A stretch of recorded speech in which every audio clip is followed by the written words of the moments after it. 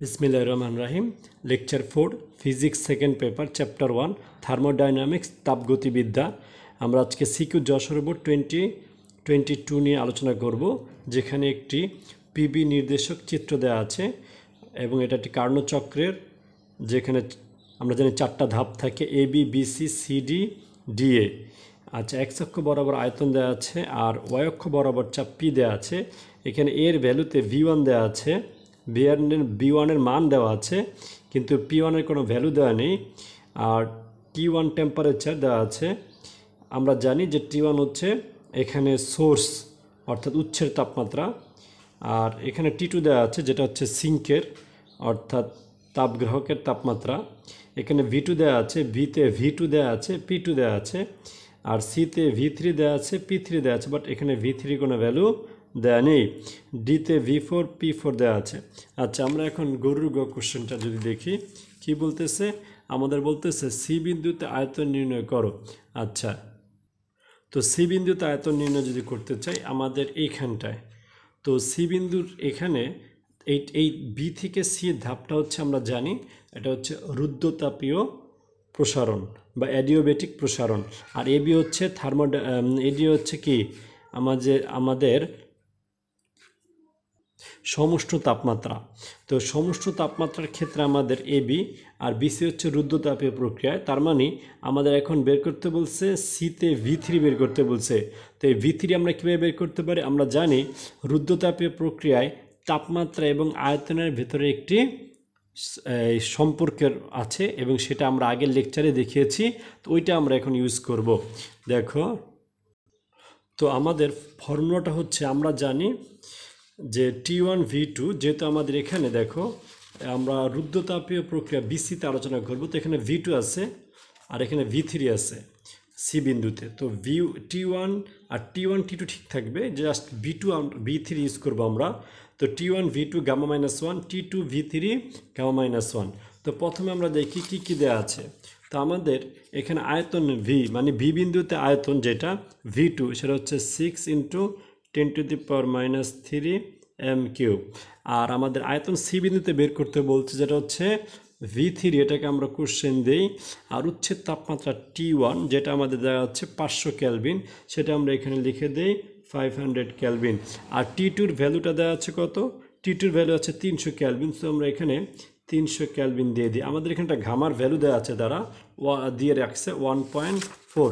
তো আমরা যদি সেটা লিখে দিই ওয়ান পয়েন্ট ফোর এবার আমরা এই ভ্যালুগুলো বসাবো। তার আগে আমাদের বের করতে হবে ভি থ্রি তো এই ভি থ্রিটা বের করার জন্য আমরা যে কাজটা করব, দেখো, প্রথমত আমাদের এই সাইডে নিয়ে আসি আমরা। T two V three gamma minus one equal T one V two gamma minus one আচ্ছা বা এখন ভি থ্রি এখানে ঘামার ভ্যালু দেওয়া আছে কত?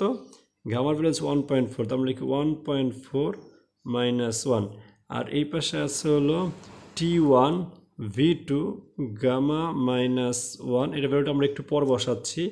আর এর নিচে আমরা টি টু নিয়ে আসি।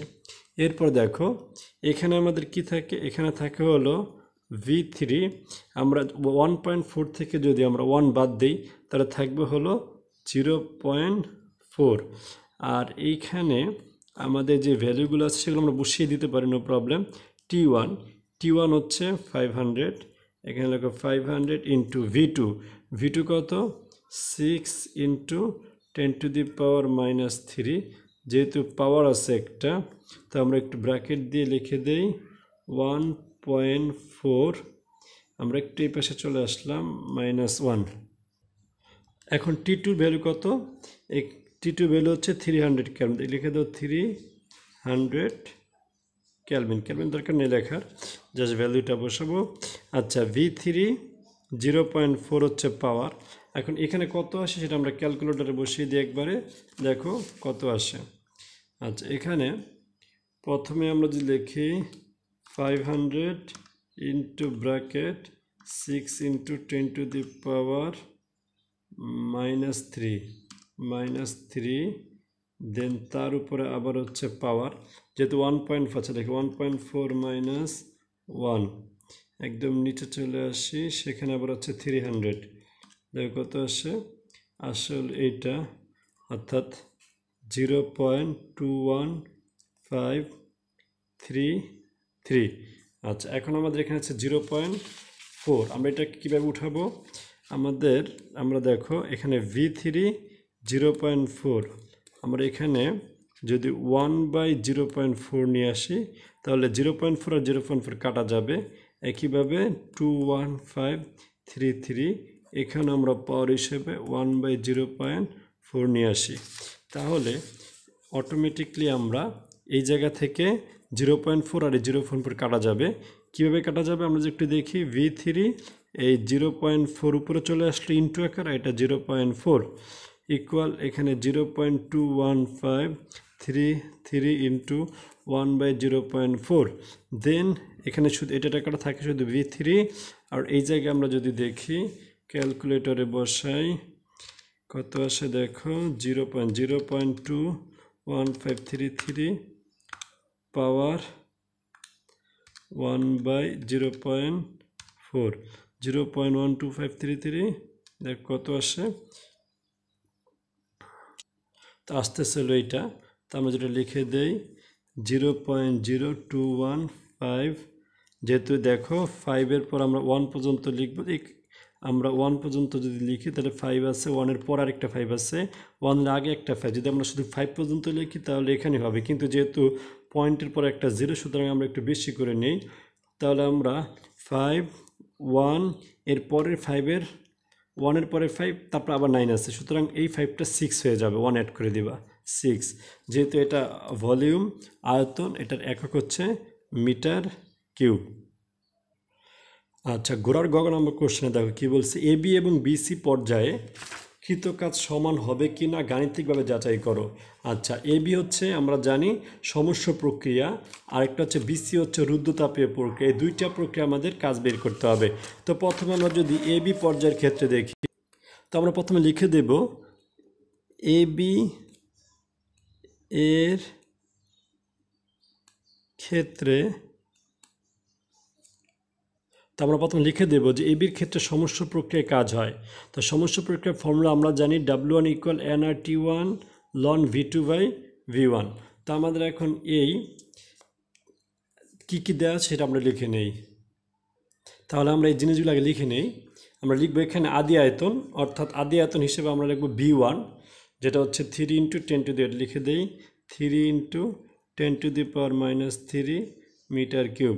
AB যেহেতু করতেছি এবির ক্ষেত্রে বি হচ্ছে শেষ আয়তন। শেষ আয়তন ভি টু হচ্ছে six into ten to the power minus three M cube মূল সংখ্যা, এখানে মূল সংখ্যা তারা দিয়ে দিয়েছে টু মোল।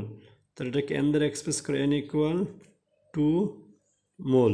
Mole আর গ্যাস দ্রবক আর এর মান আমরা এখানে দেয় নাই। আমাদের মুখস্থ লিখতে হবে এইট পয়েন্ট থ্রি ওয়ান যে মোল ইনভার্স, কে ইনভার্স? উচ্ছেদ তাপমাত্রা। এখানে সবসময় উচ্ছেদ তাপমাত্রা ইউজ হবে, যেহেতু টেম্পারেচার এখানে কি থাকবে? সমউষ্ণ মানে তাপমাত্রা সেম থাকবে। দ্য টি ওয়ান হচ্ছে পাঁচশো কেলভিন আর ডাব্লু ওয়ান দিব এখানে। ডাব্লু ওয়ান হচ্ছে কৃতকাজ, যেহেতু আরেকবার বিসিতে করতে হবে।